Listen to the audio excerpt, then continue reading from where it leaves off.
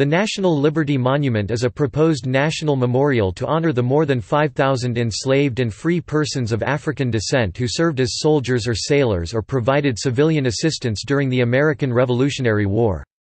The memorial is an outgrowth of a failed effort to erect a Black Revolutionary War Patriots Memorial, which was authorized in 1986 but whose memorial foundation dissolved in 2005. Congress authorized the National Liberty Monument in January 2013.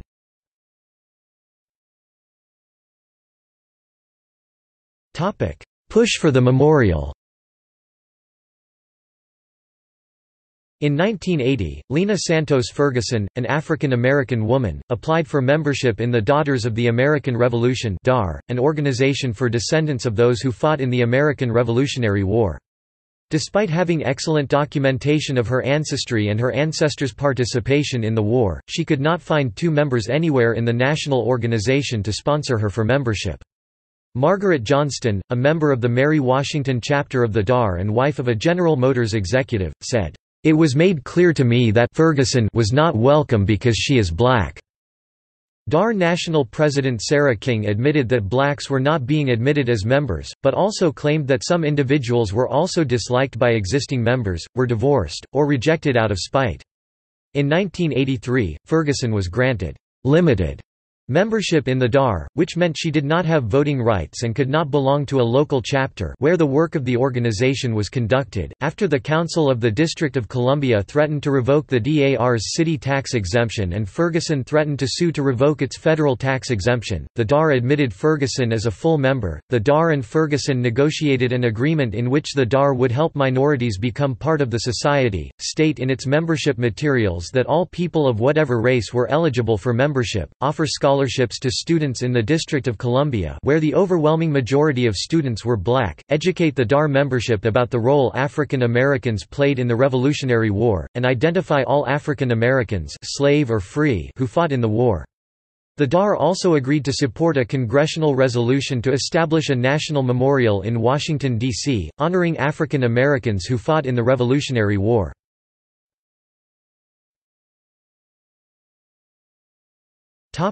Black Revolutionary War Patriots Memorial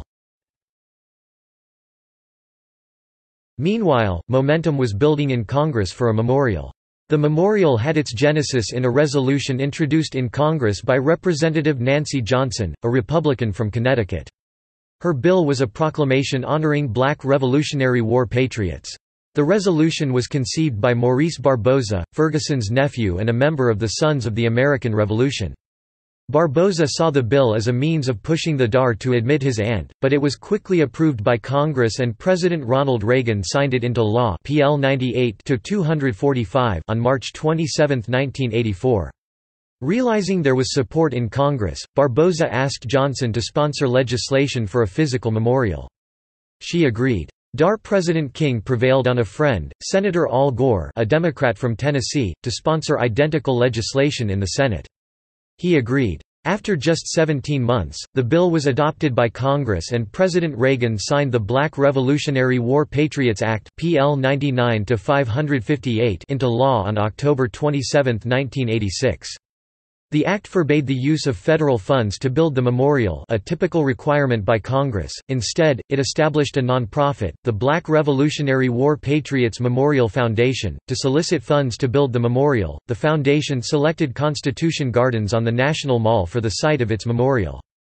Constitution Gardens is a lightly forested area and pond bounded on the west by the Vietnam Veterans Memorial, on the east by 17th Street NW, on the north by Constitution Avenue NW, and on the south by the Lincoln Memorial Reflecting Pool.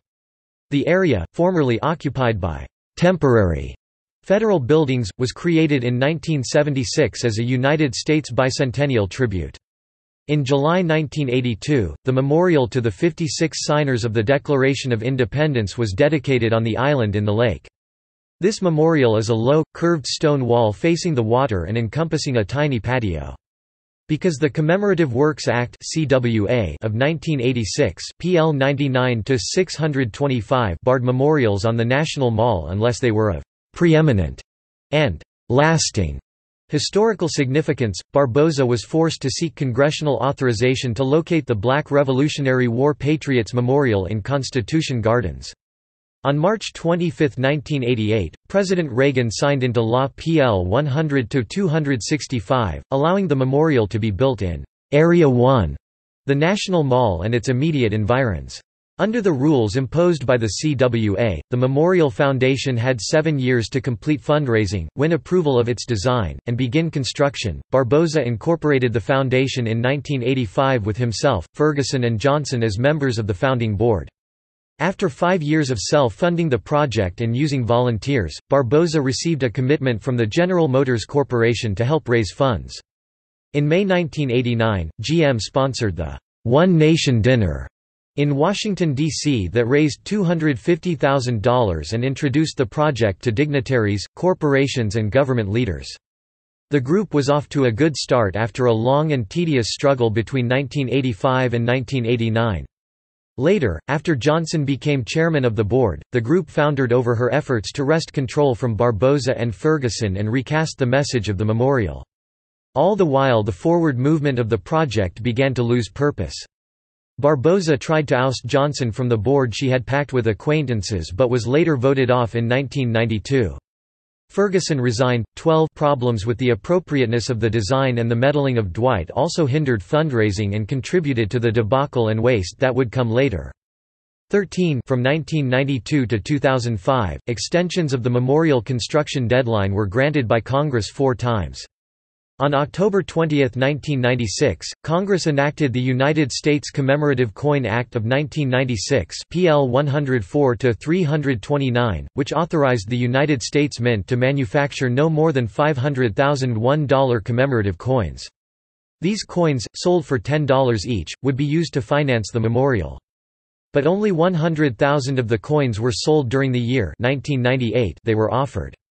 Between 1996 and 1999, the foundation raised another $1.5 million for a total of $3.6 million in received contributions. But it spent $800,000 designing the memorial and another $1.8 million on salaries for staff, leaving it with just $1 million in its trust fund. The memorial's design was also problematic. In 1990, architect Marshall Purnell proposed an elliptical plaza with seven 13-foot meters high statues of African American Revolutionary War soldiers and citizens. The United States Commission of Fine Arts CFA, which had design approval over all memorials in the National Capital Area, rejected the design as too monumental and too visible compared with the nearby Signers Memorial. It counseled the foundation to eliminate the statues and seek a «landscape solution» as a memorial. In 1991, the Memorial Foundation held a charrette to seek a new design. Sculptor Edward Dwight's design for a granite block with figures of African American soldiers and citizens emerging from swirling rock was chosen. The CFA liked the design, but repeatedly asked for changes over the next five years. Dwight became convinced that members of the CFA and the National Park Service had an issue with putting black faces on the National Mall. Dwight's design was subsequently approved by the CFA. But the changes left the memorial without any monumental elements, too small and pinched to attract financial support. Congressional authority to build the Black Revolutionary War Patriots Memorial expired on October 27, 2005. The Memorial Foundation dissolved, out of money.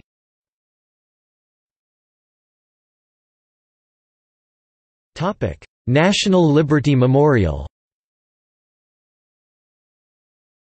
While the Black Revolutionary War Patriots Memorial was under design consideration, Congress enacted the Commemorative Works Clarification and Revision Act of 2003 CWCRA. This law barred the erection of any memorial in Area 1 without the approval of the National Capital Memorial Advisory Commission. In 2005, Barboza established the National Mall Liberty Fund DC, a non-profit foundation to honor African Americans, slave and free, who fought in the American Revolutionary War, who provided assistance to the war effort as civilians, and who sought their freedom during the Revolutionary period. In April 2006, Senator Chris Dodd Democratic from Connecticut introduced legislation to approve the new memorial. Dodd's legislation, however, did not refer to African Americans or any other minority, simply to "...slaves and other persons who fought." In the war, Barboza asked the NCMAC to transfer the Black Revolutionary War Patriots Memorial site approval to the National Liberty Memorial, but the agency declined to do so in 2007. The Dodd legislation died at the end of the 109th United States Congress on December 8, 2006. Dodd introduced new legislation, with altered wording, in 2009, 2010, and 2011. The Congress finally authorized the National Liberty Memorial on January 2, 2013, in Section 2859 of the National Defense Authorization Act for fiscal year 2013, Pub. L. 112 239. Congress declared the memorial to be a commemorative work to slaves and free black persons who served in the American Revolution as soldiers, sailors, or civilians. The National Mall Liberty Fund DC was authorized to build the memorial. Congress authorized the memorial to be constructed in Area 1 or Area 2 of the National Capital Area, but not in the «reserved» area designated by federal law. National Mall Liberty Fund DC was also authorized to begin raising private funds to construct a memorial, which would be turned over to the federal government upon completion. Under the rules established by the 2003 CWCRA, the National Mall Liberty Fund DC has seven years until January 2, 2020 to raise the necessary funds to build the memorial, and to obtain siting, design, and other approvals from the NCMAC, CFA, and National Capital Planning Commission.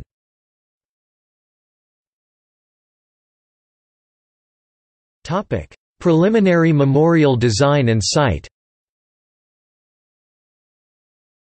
The National Mall Liberty Fund DC hired sculptor David Newton to design a preliminary memorial.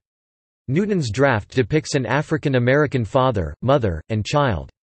The father is armed with a rifle, but not depicted as a soldier. The mother points toward the nearby Lincoln Memorial. The child wears a tricorn hat and is beating a drum. On July 23, 2013, the Memorial Foundation presented its first site selection report to the NCMAC.